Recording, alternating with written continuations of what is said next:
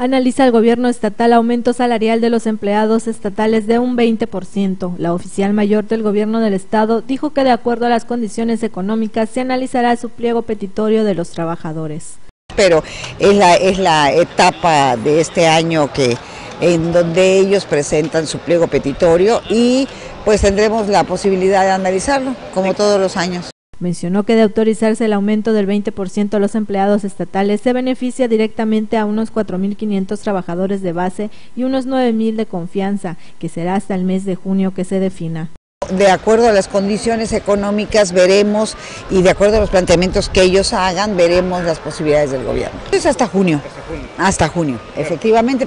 Señaló que existe buena relación con los representantes sindicales, por lo que se analizará en breve dicho aumento a beneficio de los trabajadores.